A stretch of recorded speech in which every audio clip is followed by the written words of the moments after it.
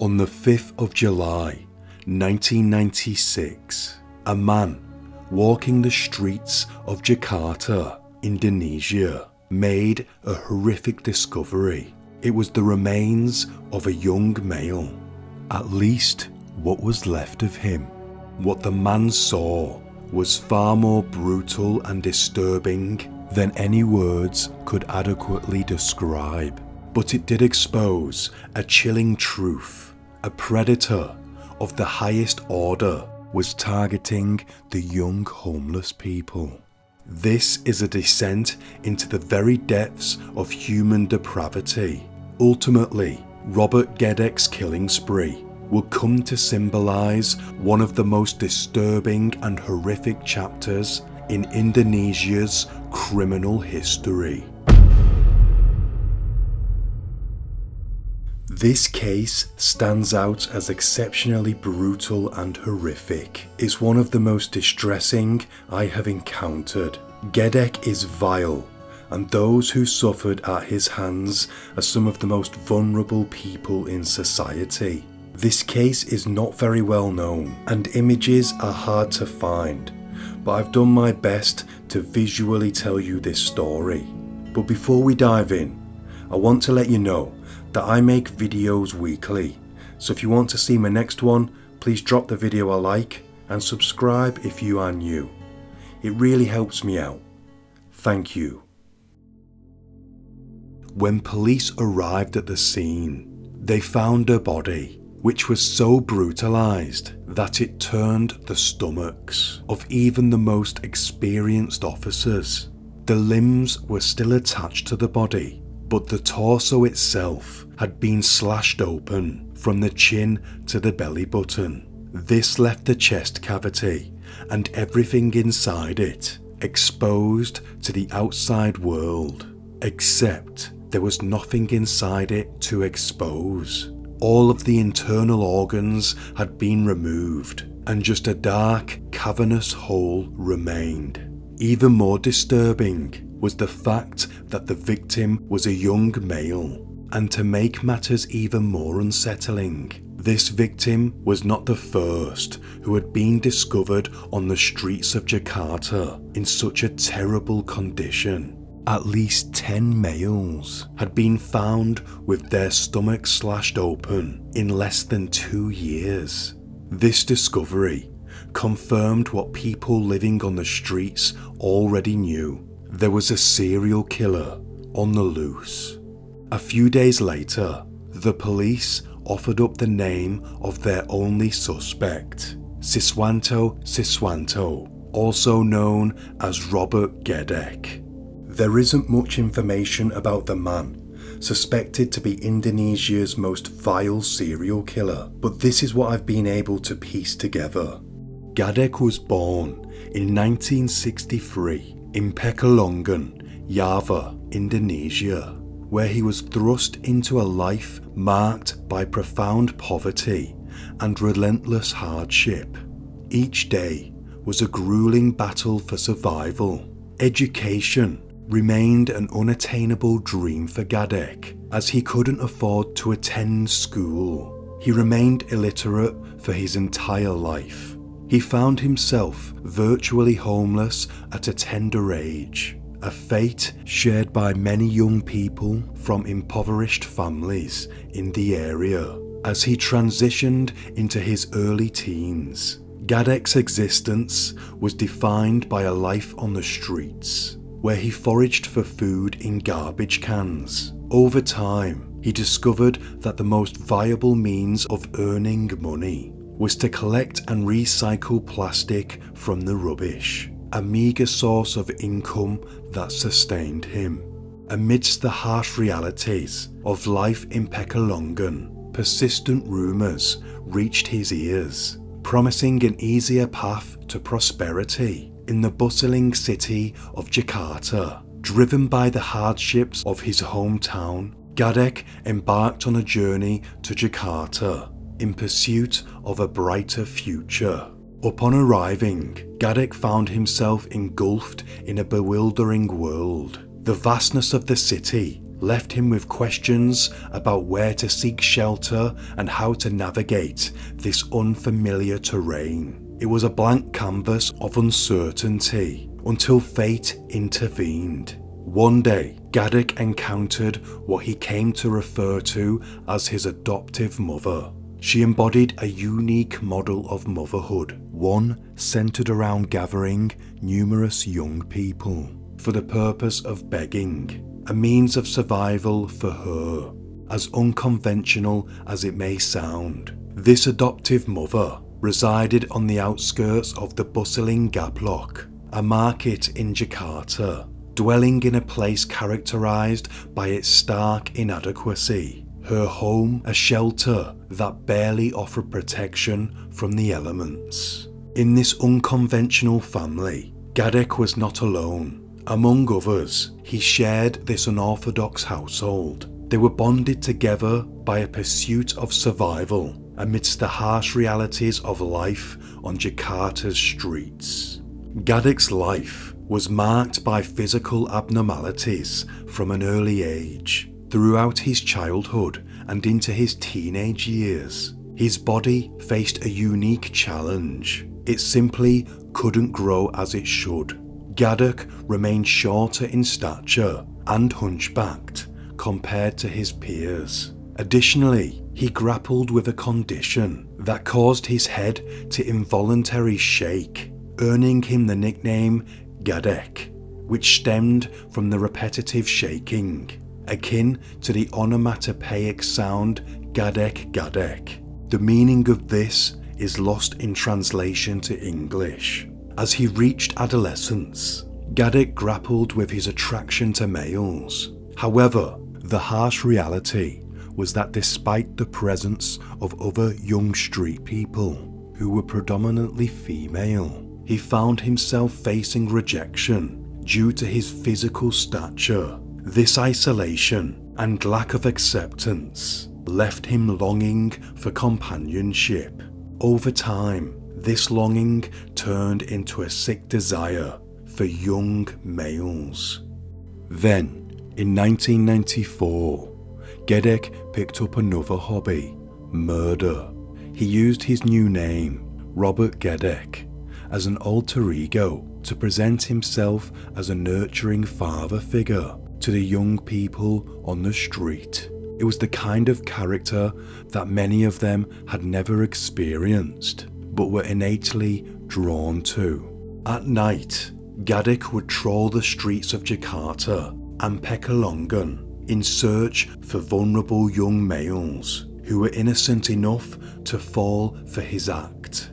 Then he would entice them into his house, offering them food, something they always wanted. And on top of this, he offered them safety and a sense of belonging. Once they were inside his house and relaxed, he would force himself on them. When it was over, Gedek strangled them to death with a rope. Then he took a sharp knife and slashed open their stomachs. He would drink the blood of his victims. He did this as he believed it made him strong. He felt reinvigorated after doing so and sometimes Gedek removed sections of the victim's skin to keep as a memento. After this, he would chop the bodies into small pieces. He would dump their remains back onto the streets where he had found them. Gedek was doing this from 1994 to 1996, a long time to be getting away with such horrific crimes. Officers and locals alike knew that there was a killer amongst them, but no one had any clues as to who it may be. The remains of the young street people were so small that it was all but impossible to identify them.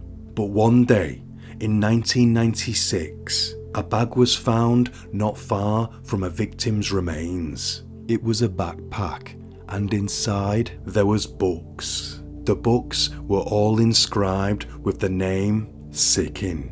The police launched an extensive investigation in the vicinity of the incident, focusing their initial efforts on the local residents. With having a name of who they believe was a victim, the first line of inquiry naturally led them to people living in the area. They meticulously questioned each resident, but the results were inconclusive. No one had any knowledge or information about the person named Sikin. By chance, they encountered one young individual who happened to know Sikin. That's when things began to take shape. This person recognized Sikin as a homeless friend, someone who begged for a living and roamed the streets aimlessly. This revelation prompted the officers to shift their focus towards the homeless population. In the impoverished neighbourhood, they diligently interviewed each young homeless person, trying to piece together the events leading up to Sikin's tragic demise. Their investigation led them to the name Robert Gedek, someone who was considered a leader amongst the homeless, or at least held a position of influence. However, the police were reluctant to act, as some of the young homeless people claimed that Robert Gedek, due to his physical limitations, seemed unlikely to have committed such a heinous act. This changed, however, when another young homeless person claimed that he had last seen Sikin with Gedek just days before his death. This changed things for the authorities, as now they had an eyewitness. The police acted swiftly, determined to locate Robert Gedek's residence. They managed to uncover his address, which turned out to be at his adoptive mother's house. Without hesitation, the police embarked on a journey to central Java, following information provided by Gedek's adopted mother. They learned that he was in Tegal, not his hometown of Pekalongan. Upon reaching Tegal, the police encountered Gedek at the train station. He was begging, accompanied by two young street people, one on his left and one on his right. These young people were potential victims, and had it not been for the timely intervention from the police, their fate may have been as grim as Sikin's. Remarkably, the police walked past Gedek multiple times at the station. Without realizing they were hunting him, he remained relaxed until the moment police confronted him. As he stood up, the officers noted his short stature, his distinctive limp, and the involuntary shaking of his head. These unique characteristics instantly identified Gedek, and he was immediately arrested.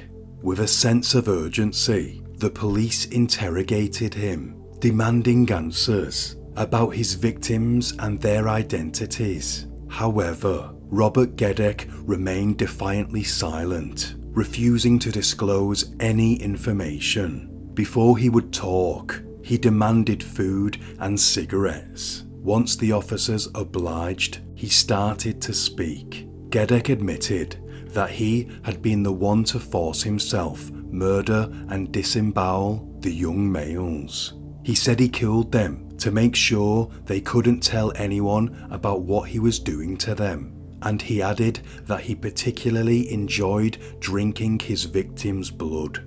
But right after admitting what he had done, he claimed that he didn't want to kill the males and that he only did it because a man named Bambang told him to do it. It's impossible to say exactly how many young people Gedek slaughtered during an 18 month period between 1994 and 1996. At least 12 young males were found on the streets of Jakarta with similar injuries. Gedek only ever admitted to carrying out 12 murders, but officers believe the number is closer to 20. After Gedek's confession, he was charged with 12 counts of murder. During his trial, The defence argued that he didn't want to kill the males and that he thought that they were chickens. They also doubled down on the claim that he had no choice because someone else was making him do it, and that because he was mentally unstable, he was easy to manipulate. They stated Robert's mental health and intellectual ability should be seriously considered here because the defendant always agreed to anything he was told and could not state an opinion. But the prosecutor claimed that the opposite was true. They pointed to the fact that Gedek's own defense lawyers had asked for a psychiatric evaluation to be carried out, but they had withdrawn their request when they decided that he was, and quote, sane enough. They also shared evidence of their failed attempts to track down the man Gedek said was making him carry out the murders, Bambang, who has never been identified. Throughout the trial, Gedek sat in the dock wearing a white shirt and black pants. His face showed no expression even when extremely graphic evidence was being presented in court. It was this lack of visible remorse which led prosecutors to demand that he be sentenced to death for the murders. Not because the crimes were so brutal, but because he didn't look like he regretted what he had done. In 1997, one year after his final victim was discovered, Gedek was sentenced to death for the murder of 12 young males. Ten years later, on March 26, 2007, when Gedek was waiting execution in prison on Cambangan Island in Indonesia, he had a heart attack and died.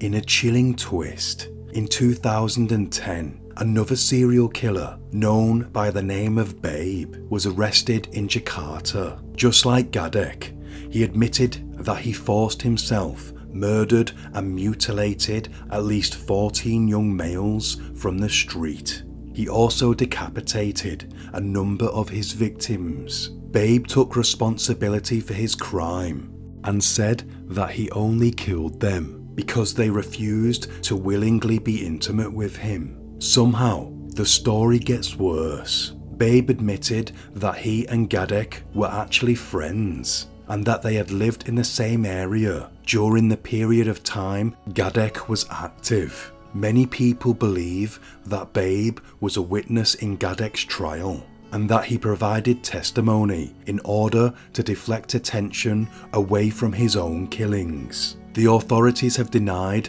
that Babe testified during the trial, but they haven't been able to disprove the relationship between the two killers. Babe was later sentenced to death for the murder of 14 young males. He remains alive in prison.